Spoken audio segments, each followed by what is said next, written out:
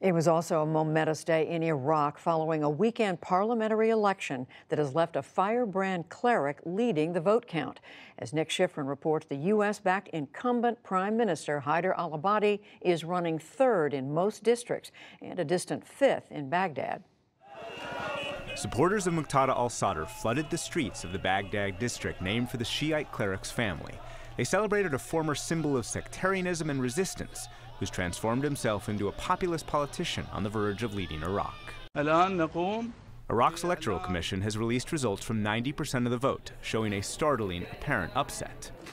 Sadr's Nationalist Alliance Sairoon as the frontrunner, and Sadr himself is the expected kingmaker. Sadr rose to prominence after the U.S. led overthrow of Saddam Hussein. In 2004, Sadr's Mahdi army fought a brutal, bloody insurgency against coalition forces, demanding they withdraw from the country. His men also targeted Sunni Iraqis, helping spark the civil war that ripped through Iraq in 2006. Recently, he rebranded himself as a nationalist, anti-US and anti-Iran.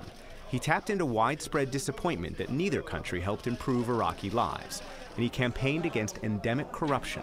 His allies were communists and secular parties, and he wants a government of technocrats.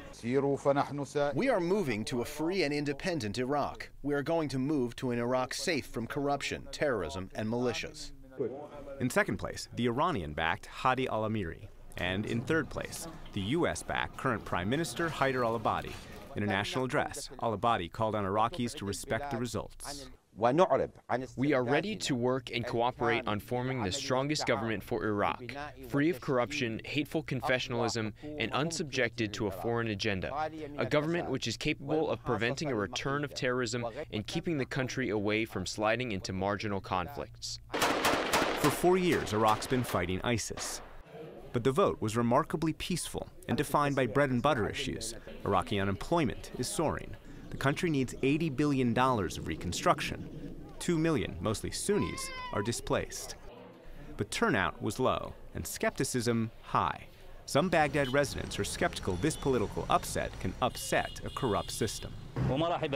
Nothing will be changed. The same misery for the country. If his bloc is the confirmed winner, Sadr won't become prime minister. But 15 years after the U.S. invasion, the man once described as the U.S.'s top enemy in Iraq will be responsible for shaping Iraq's destiny.